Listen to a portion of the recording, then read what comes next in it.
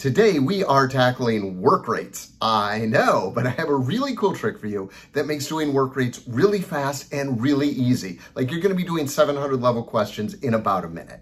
I also have a bonus gift for you. It's a set of work rate questions. It starts out easy. It gets progressively harder. Most of these are frankly 700 level questions, but don't worry because I break down each question step by step for you. If you can learn how to do this practice set, it's not going to be any work rate question that test throws at you that you're not going to be able to handle. It's yours for free. You can download it right in the description. Okay, let's get on to the lesson.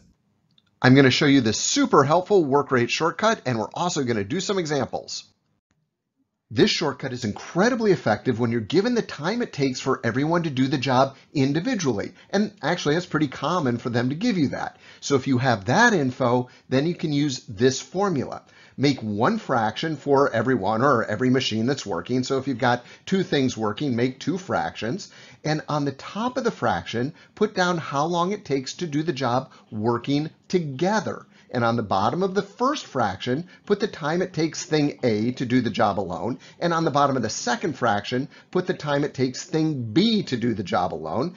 Add the fractions together and set the whole thing equal to how much work you're trying to get done. And when we do an example, this is going to actually be very obvious and very intuitive. So let's do an example right now. Two painters are hired to paint a house. One painter can paint the house in three hours, the other painter can paint the house in seven hours. Working together, how long will it take the painters to paint the house? Okay, the first thing we always do is pull out what the heck we've been asked to find, and in this case, we've been asked to find time together. Now we also notice that we've been given each individual's time, which means we can use our shortcut. Okay, so we have two painters, so that means we're going to make two fractions. We're going to add those fractions together and set it equal to the amount of work we're trying to do, which in this case is one house. Okay, so how long does it take the painters to paint the house together? Well, we don't know. That's what we're being asked to find, the time together. So x goes in the numerator. The denominator of the first fraction is a's time alone. So it takes A three hours to paint the house alone, and the denominator of the second fraction is B's time alone, which is seven hours. All we do now is solve for X. The fastest way to add fractions on the test is to find the common denominator, in this case it's 21, and multiply that denominator through the entire equation. And when you do that, you'll find you get 7x plus 3x equals 21. A little bit of simple algebra, you get x equals 21 over 10. Very nice job. Three painters are hired to paint a house. One painter can paint the house in two hours, one painter can paint the house in four hours, and the third painter can paint the house in six hours. Working together, how long will it take the painters to paint two-thirds of the house? Okay, the first thing we always do is pull out what the heck we've just been asked to solve, and in this case, we're being asked to find time together. Next thing we notice is we've been given each individual's time, which means we can use our shortcut. Now in this case, we have three painters working, so we're going to make three fractions.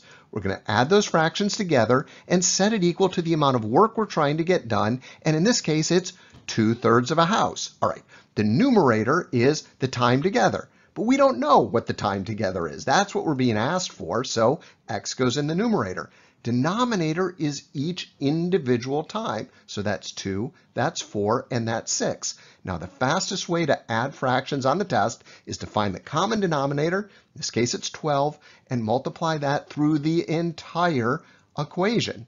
And when you do that, you're going to get 6x plus 3x plus 2x equals 8, and x is going to be 8 over 11.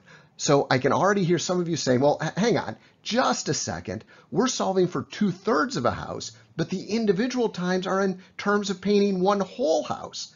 Turns out it doesn't matter. So long as the individual times are in terms of the same amount of work, in this case, each painter's time is in terms of one house, it won't matter. Okay, very nicely done. Pumps A, B, and C can fill an empty tank or drain a full tank in 2, 3, and 6 hours respectively.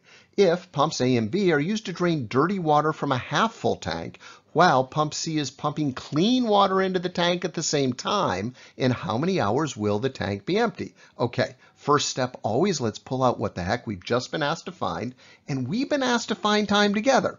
All three pumps are switched on, and all three pumps are pumping at the same time. We need to find time together.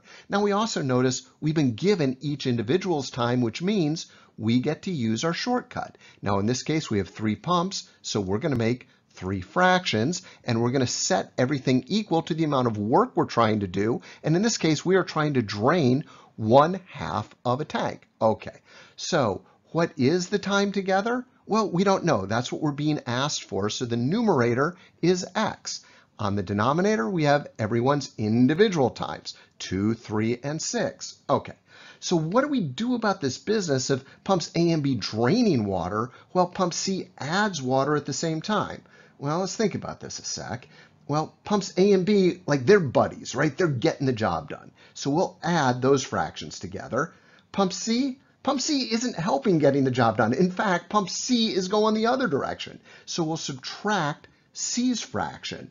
Now all we have to do is solve for x. And we know the fastest way to do that is multiply through by the common denominator, in which case is 12.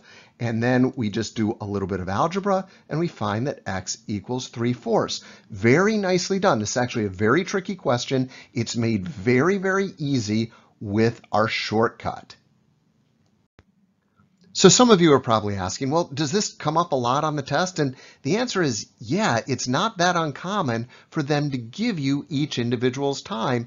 And the shortcut works when you have each individual time. Now, one caveat, you have to be given each individual's time in terms of the same amount of work. In other words, you need painter A paints one house in two hours. Painter B paints one house in three hours. The shortcut doesn't work if painter A paints one half of a house in two hours and painter B paints three eighths of a house in three hours. But almost always, when they give you each individual's time, they almost always give it to you in the same amount of work. So that means that this shortcut, yeah, it's dead useful and it definitely comes up on the test. Okay, very nice job.